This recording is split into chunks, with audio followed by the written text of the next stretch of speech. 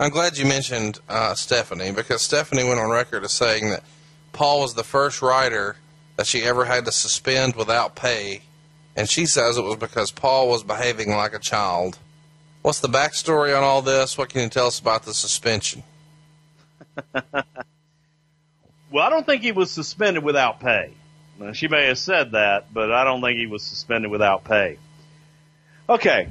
Paul had a habit of trying to get young disciples around him. Paul always liked to have a step and fetch it. He, liked to have young boys that would do his bidding, go get him his his laundry and go get him his kung pao chicken, extra pow, easy on the peanuts, make them salted extra chicken, sir. And Paul would uh, just recruit. So anytime that a new writer would come in or a writer's assistant would come in, Paul would take them under his wing. I will show you the way, my good man.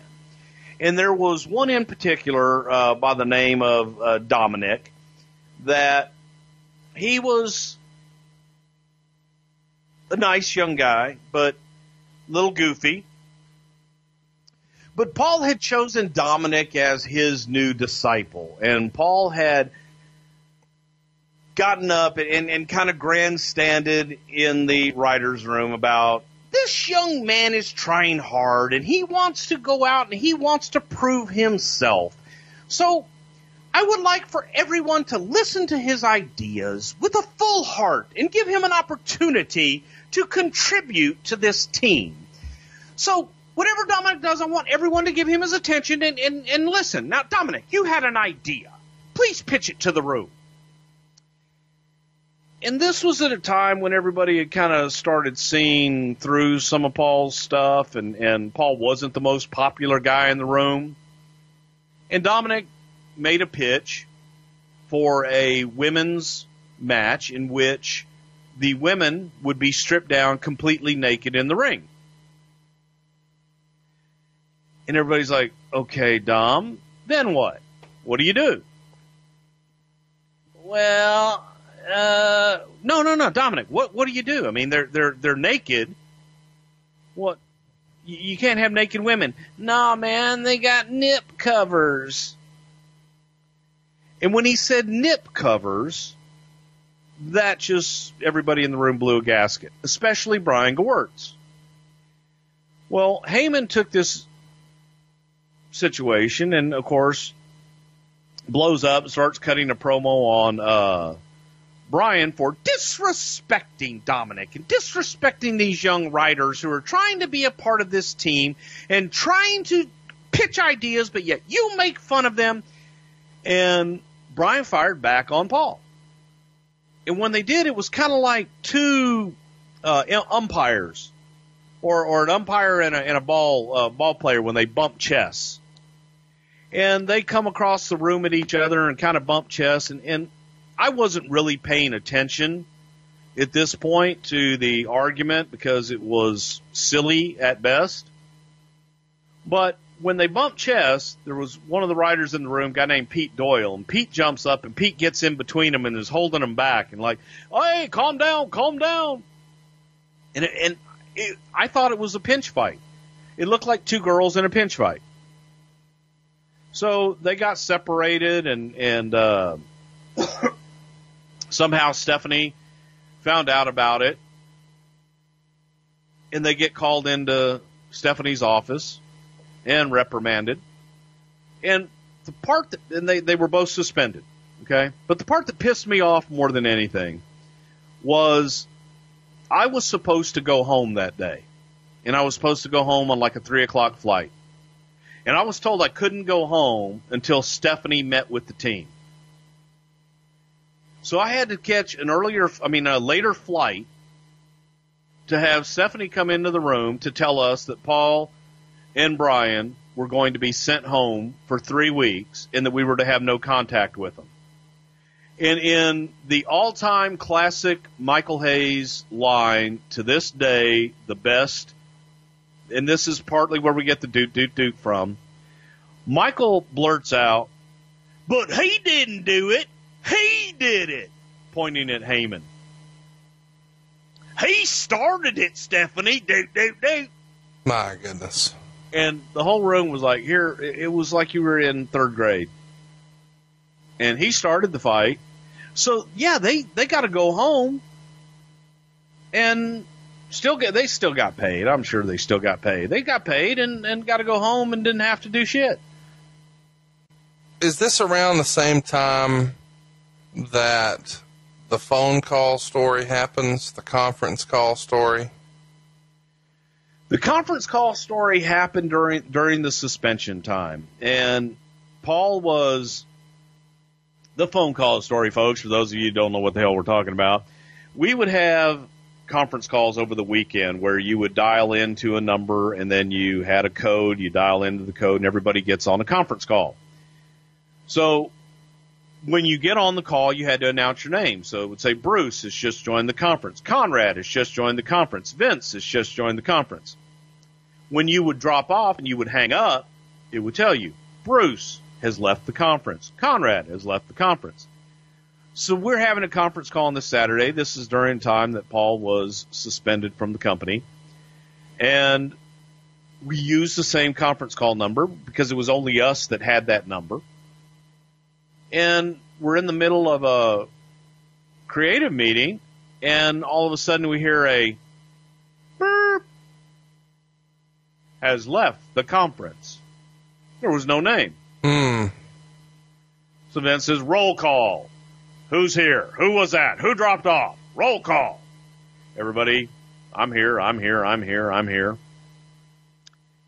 Everyone was there. But someone had been on and had left the conference. The other thing about those conference calls is when you dial in, it logs your number, where you're calling from. Mm. The call came from a Scarsdale residence that was traced back to um, last name Heyman. It was his mom and dad's house. Correctamundo. That's amazing. and Paul denied it. Paul Paul denied it for the longest time, and I, I just told recently that he was like, "Ah, yeah, I was on." What did that sound like when he was uh, denying it? I was not on the phone, sir. It was not me. But That's Paul, great. it, it got traced back to your parents' house. It was not me, sir. But but Paul, I, there, it, it went back to your parents' house. Not it. Well, let's talk about why Paul was removed. Stephanie has said that Paul wasn't effective on the writing team for whatever reason, and, and I find that hard to believe. But Paul has said that, you know, he wasn't maybe mature enough to be in that environment at the time. I, I guess, you know, he could be pretty vocal and pretty opinionated, and and had a hard time. I guess the right word is assimilating can you speak to why he, you think he was removed and, and why Stephanie would go so far as to say he wasn't effective? Yeah, because Paul had everybody else doing the work for him. Paul would like shoot out ideas and talk about, you know, the big picture and then kind of pawn it off to Dave Lagana or Pants or, or whoever else was working under him at the time and have them come back with a show. And he would push it off so late. He didn't meet deadlines. He would be late for Vince meetings. It was a combination of things that Paul was almost begging to get off of the team and begging to just be a talent and not have to worry about writing the show from week to week because writing the show from week to week also came with heat. The boys, if they weren't being used, they're coming back to you and they're saying, Hey, why aren't you using me? Why aren't you doing this? So he wasn't, you know, he wasn't being heralded as, as the genius and the savior at this time. And it just wasn't working. And the, the rest of the team members were starting to complain and, and you could see through it. You, Stephanie saw through it. you mentioned Lagana and Pants. Have you already talked about Paul's disciples? Yes. Uh, and, and would you list them all? I mean, as being Pants and, and Lagana and Dominic? Yeah, those are the three main ones during his tenure that he had that he really tried to bring bring into the Heyman fold. Describe exactly what that means in your opinion. How did he get these guys on board? Was he just super complimentary to them? Is this kind of reliving the old ECW pre pay per view speeches that we fans have heard about? A lot of it like that, yes, but you also have to remember that these guys were coming in as writers' assistants when they first came in. So their job was to do whatever, you know, the writers needed them to do. So Paul would would bring them in and let's go to Chick fil A. And come with me. I, I will buy you a chicken sandwich. Um, they made them feel a part of it and would ask them, you know, tell me your, uh, give me your idea. That is excellent. I am going to use that. You will get full credit, sir. And he just, he was Paul. So yeah, a lot of the speeches that you've seen on the different things, Paul could be very persuasive and a very charismatic guy. What would you say was Paul's biggest harm to himself? I mean, did he have one big flaw as the head writer? Was there one single thing, or was it just trying to delegate too much? Not knowing when to not knowing when to quit, not knowing when to tap out and be able to move on to the next thing. Um, accept a decision and move on. Like it or don't like it, just be able to, to accept it and move on and make it the best you can. If Paul didn't like an idea, he wouldn't he wouldn't work hard to make it successful.